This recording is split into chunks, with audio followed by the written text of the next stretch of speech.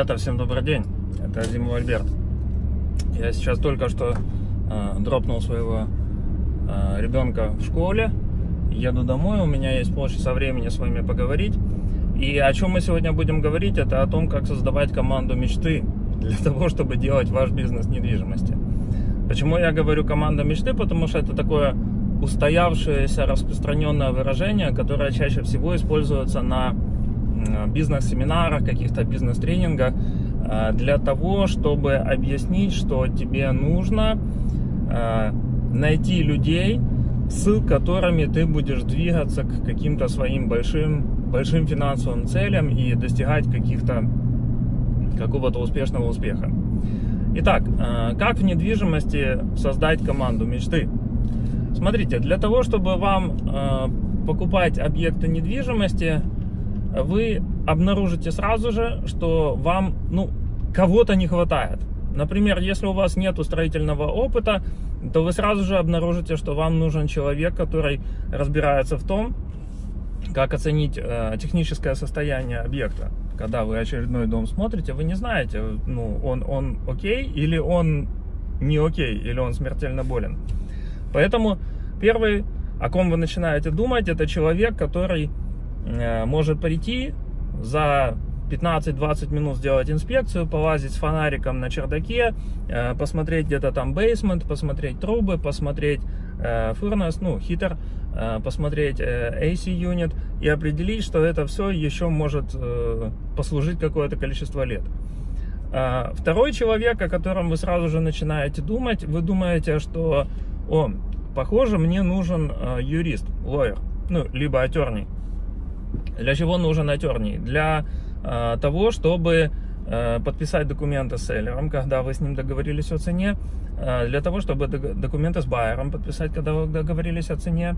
Э, если вы делаете double closing или делаете wholesale или делаете sandwich lease option, очевидно, вам нужен attorney, потому что без него вы просто не сможете оформить правильно документы. Третий человек, о котором вы думаете, о, кажется, мне нужен real estate агент. Или хорошо было бы, чтобы, э, там, не знаю, моя сестра или моя жена была real estate агентом, или еще кто-нибудь.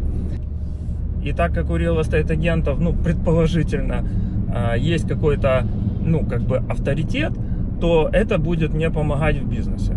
А также у real estate агента есть MLS, да, то есть листинг система.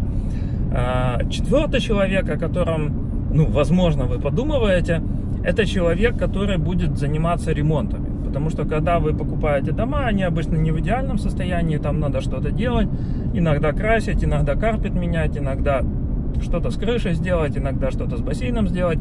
И вы думаете, окей, мне нужен какой-то контрактор, такой хендимен на все руки, который может любой дом, даже самый э, ушатанный, превратить в прекрасный, э, желаемый для покупателей симпатичный домик, который я легко быстро продам. Следующий человек, о котором вы думаете, вы думаете, вау, вау, вау, подожди, для очередной сделки мне же понадобится, э, возможно, 200 тысяч долларов, возможно, 300 тысяч долларов, э, у меня нету столько кэша, хм, как мне быть? Мне нужен, наверное, какой-то лендер, то есть какой-то финансирующий партнер, звонив которому я всегда могу получить там 50 тысяч, 150, 300, то есть какую-то крупную сумму, когда я буду находить сделки, я буду ему звонить, он будет говорить, да, конечно, выписывать чек, э, этот чек отправлять на клозинг, и таким образом я буду покупать дома, потом я их буду продавать и делать на этом прибыль. Э, следующий человек, о котором вы думаете, вы думаете так, Значит, когда я заработаю прибыль, у меня же образуются, э, нужно будет платить таксы, инком таксы. Потому что каждый раз, когда э, я делаю жирный чек прибыли, э, там 50 тысяч, 30, 70, э, мне ведь нужно будет спланировать, как заплатить поменьше таксов, потому что здесь э, очень важен совет человека, который разбирается в этом вопросе. И желательно так, чтобы он взял мои бумаги и все сам сделал вместо меня, чтобы мне даже не нужно было думать о том, сколько таксов я должен заплатить. Следующий человек, я уже сбился со счета, восьмой, седьмой по счету, который, э, который очевидно нужен, это человек, который э, помогает делать э, звонки. То есть, если вы сами недостаточно хорошо говорите по-английски, чтобы коммуницировать по телефону или э, в живых встречах, э, вам нужен кто-то, ну, мы называем обычно этого человека virtual assistant. Ассистент э, делает э, за вас обработку звонков от входящих от, от вашего маркетинга. То есть, когда вы сделали маркетинг, вам начинают звонить какие-то мотивированные владельцы, и кто-то должен э, поднять трубку телефона, э, перед ним лежит анкета, и кто-то им должен позадавать вопросы. Сколько у вас долг на проперте, сколько у вас моргидж на проперте, сколько у вас э, спален, сколько ванны, сколько лет этому дому, э, и так далее, и так далее. То есть, все это анкетирование, и затем это анкетирование э, как бы обернуть следующим вопросом, который должен определить, каков уровень мотивации у того человека, который вам звонит по телефону. Если там уровень мотивации высокий, то высока вероятность, что он с большим дисконтом продаст вам дом. Если там уровень мотивации такой, знаете, никакой, то есть, ну, я просто интересуюсь, знаете, просто смотрю, just watching, это значит, что может быть, пока он еще не готов, может, еще должно пройти полгода, прежде чем он созреет, и у него появится причина срочно вам продать дом. Потому что пока что он, он не готов с дисконтом, он просто ищет хороший офер.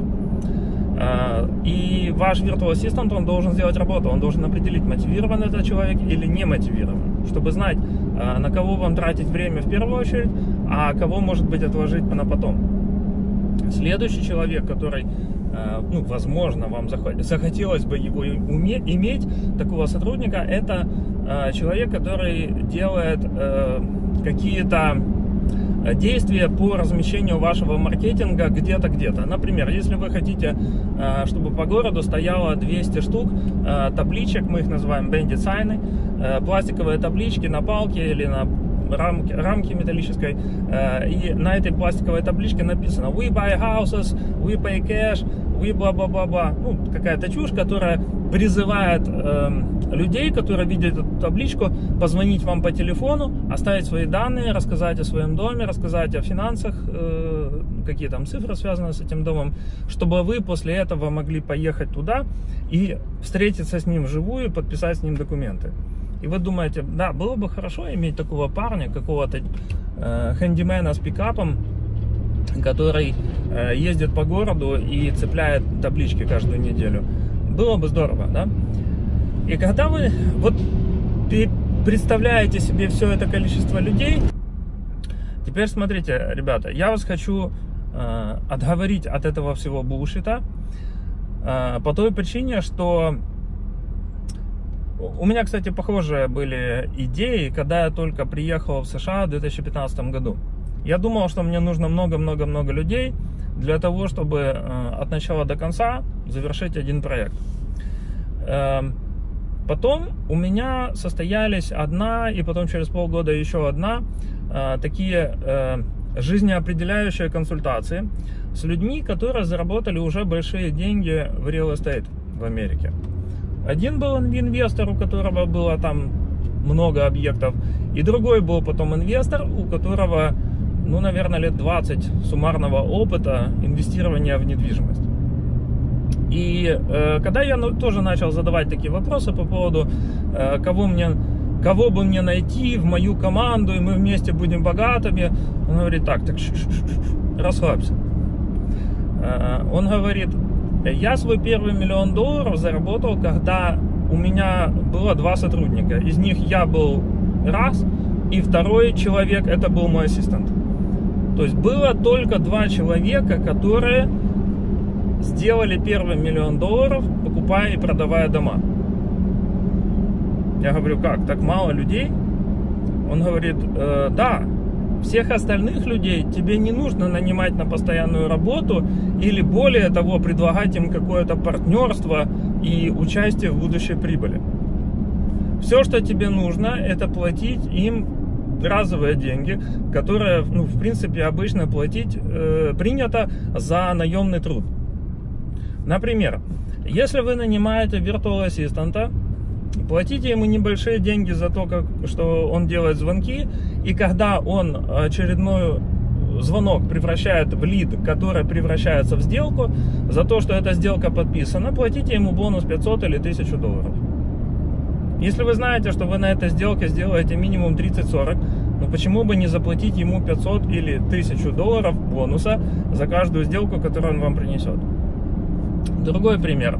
А, если вы нанимаете, а, допустим, человека, который работает и должен ну, какие-то технические работы сделать в доме, то есть, допустим, а, есть большой backyard, и там нужно сделать landscaping. И вы поговорили с ним, он говорит, окей, нужно на это два дня, э, столько-то, столько-то денег, там, не знаю, 300 долларов. Э, скажите ему, окей, слушай, давай так, ты постарайся это сделать за полтора дня, я тебе заплачу 320 долларов. Хорошо? То есть это будет гораздо лучше, чем вы э, будете ему предлагать какое-то участие в будущей там прибыли с продажи, там что-то такое. Он у вас как бы краткосрочный пассажир. Он работает еще на трех других объектах. Он к вам приходит, возможно, в субботу после того, как он где-то первую половину дня уже поработал, он вторую половину дня он приходит к вам. И вы для него, ну, не главный заказчик. То есть смиритесь с этим. Или, допустим, вам нужна помощь какая-то, чтобы вытащить списки объектов, у которых закончился листинг. Мы называем их expired listing. Э, для этого вам нужен доступ к MLS. Если вы не real estate агент и вы не являетесь ассистентом real estate агента, то у вас нет логина и пароля от местной, от локальной MLS. Э, как вам быть? Вам нужен друг real estate агент. И постоянно меня спрашивают студенты, а мне нужно платить real estate агенту? Ребята, real estate агенту платить не нужно. Real estate агент, он должен быть просто вашим хорошим знакомым, вашим другом. Почему? Потому что э, если вы оказываетесь в такой ситуации, что вы можете ему принести лид, э, и э, real estate агенты, они зарабатывают с того, что им звонят люди и говорят, пожалуйста, продайте мой дом, дом находится по адресу такому-то. Real агент приезжает, берет на листинг данный дом, и если дом продается, Real агент зарабатывает деньги. Так вот, если вы встречаете какого-то человека, которому нужно продать дом, но вы сами, как инвестор, не готовы его купить, например, потому что там нет достаточного дисконта, или там не то соотношение моргиджа и equity, то есть, ну, где-то цифры для вас не пляшут, вы спокойно позвонили real estate агенту, э, говорите, смотри, я только, я сейчас прямо нахожусь в доме у там Джона. Э, Джон хочет продать свой дом. Э, Джон, поговорите с моим другом, он лучший реал эстет агент в городе. Джон, ну окей. Окей, даете ему телефон, и уже ваш э, друг получает таким образом клиента. Это называется реферальная рекомендация. В Америке очень многие вещи делаются благодаря реферальной рекомендации. Э, я недавно был с дочерью у стоматолога, и э, как бы стоматолог сделал одну часть работы и говорит, а вот есть другая часть работы, для этого нужен ортодонт, пожалуйста, э, обратитесь вот в такую-то клинику, доктора зовут так-то, так-то, сейчас я вам напишу его имя, я вам сделаю типа направление, и э, я им позвоню, чтобы они вас ждали, хорошо? Я вообще-то не собирался туда прямо сейчас ехать, ну говорю, ну ладно, позвоните. Все равно куда-то мне нужно ехать, чтобы ну, сделать эту часть работы. Вот. Они позвонили, мы приехали с дочерью в ту другую клинику, это другой бизнес, принадлежит другим людям, а, и они говорят, да, да, нам уже позвонили насчет вас, проходите. То есть, видите, очень часто клиента передают из рук в руки. Э, понятно, что у них там какое-то как бы партнерские отношения, да, но э, смысл в том, что они э, ну, рука, рука, руку моет. Это, это в бизнесе обычно очень часто, очень широко применяется. Еще а, давайте теперь о финансировании поговорим. Если вы сидите и подумываете о том, что нужен вам какой-то финансовый партнер для того, чтобы профинансировать вот тот замечательный дом, маркет цена которого 350, а вы его можете взять за 250, но у вас, к сожалению, нету 250 тысяч. Ребята, вам нужно э, потратить хотя бы 3-4 недели и разобраться в теме. Тема называется «Как покупать недвижимость Zero Down Payment». Есть большое количество методов, как покупать недвижимость с деньгами. Это, скажем так, одно море. А есть другое море, это как покупать недвижимость без даунпеймента, без денег. Либо с э, даунпейментом, но очень маленьким, который э, легко может офордать любой э, человек, у которого есть хоть какая-то работа. И э, о чем я говорю? Смотрите, мы когда покупаем дома, мы фокусируемся не на тех сделках, которые просто там с большим дисконтом или там поломанные дома, у которых э, есть огромный запас потенциала, да, который там можно сделать и перепродать на 100 тысяч дороже. Нет, это не наш принцип. Мы фокусируемся на тех домах, которые имеют сравнительно небольшой дисконт, обычно это где-то 20%, и где оунер в принципе готов на эти 20%, но 80% это составляет э, ипотека. Обычно первый и второй моргиш, либо только один моргиш, который э, находится на этой недвижимости. Почему? Потому что когда э, мы находим дом, который, ну, например, его маркет цена 300, а оунер согласен на 250, из которых 245 это ипотека, а 5000 это ну, какие-то пропущенные платежи или там расходы на оформление, то мы вот такую сделку берем. Почему? Потому что ипотеку 245 тысяч мы можем спокойно оставить на этой недвижимости, согласовав это с селлером. Как это сделать? Посмотрите, у нас в программе э, это один из основных э, методов, которым, которым, который объясняет, как покупать дом без денег. Да? Покупка с существующей ипотекой. И несколько тысяч долларов, которые нужны для этой сделки, ну, например, 5 тысяч долларов, э, я думаю, что вы легко найдете, если вы будете знать, что у вас есть потенциал заработать с этой сделки 50. Потому что даже если у вас в Америке временно нету работы, даже если у вас там есть всего лишь полтора друга и только две кредитные карточки, даже в этом случае вы можете, в принципе, за неделю бегом собрать где-то 5000 долларов для того, чтобы профинансировать эту сделку. Вдруг вы в такой ситуации, что у вас вот э, сделка есть, а 5000 долларов нету для того, чтобы ее профинансировать, ну, в крайнем случае, напишите мне. Даже если вы в другом штате, я вас э, сведу с кем-то из э, студентов, которые находятся в этом штате и которые находятся в поиске сделки, и у них есть кэш для того, чтобы ее купить. Окей, теперь опять вернемся к тому, что такое команда. Смотрите, э, лучшая в мире команда – это вы и, возможно, еще ваш один ассистент. Обычно это кто-то э, локальный американец, который э, прекрасно говорит по-английски, который может выполнять функции человека, ну, как property scout, то есть, который может поехать, посмотреть объект, встретиться с оунером, проанкетировать оунера вживую, который может вместо вас поговорить по телефону. То есть, человек, которому вы можете поручить почти те же самые действия, которые вы делаете сами. Единственная вещь, которую нельзя поручать этому человеку, это подписывать э, сделки. Потому что если он вместо вас еще и контракты будет подписывать, то в принципе вы уже ему не нужны как наниматель. Он может бизнес без вас делать и себе самому подписывать сделки. И себе покупать дома. Ну, если он, конечно, достаточно сообразительный. А, у меня работает э, человек, великолепный сотрудник, э, женщина, которая 58 лет, а, она уже на пенсии, но она очень-очень прекрасно общается с людьми, она э, прекрасно знает город, она мотается абсолютно на любые адреса. Никаких вообще у нее комплексов по поводу того, чтобы э, пойти и поговорить с любым абсолютно хоум-оунером. И она делает virtual э, assistance, то есть она обрабатывает телефонные звонки, она делает дорнокинг, то есть суббота-воскресенье она обычно на колесах, и она где-то ездит по тому списку адресов, которые я ей даю, и я ей плачу бонусы за каждый дом, который я купил благодаря ее контактам, благодаря ее работе. И ей очень нравится получать деньги именно кэшем, потому что она ну, там, определенную форму социального обеспечения получает, и ей нельзя, чтобы ее доход становился выше, ну, официальный доход. Поэтому я ей плачу, плачу просто кэшем, и ей это очень подходит. Поэтому, чтобы завершить тему, о команде мечты. Вам не нужно много людей. Раз. Второе. Э, вам не нужно предлагать людям партнерство в какой-то будущей прибыли. Это очень неумно.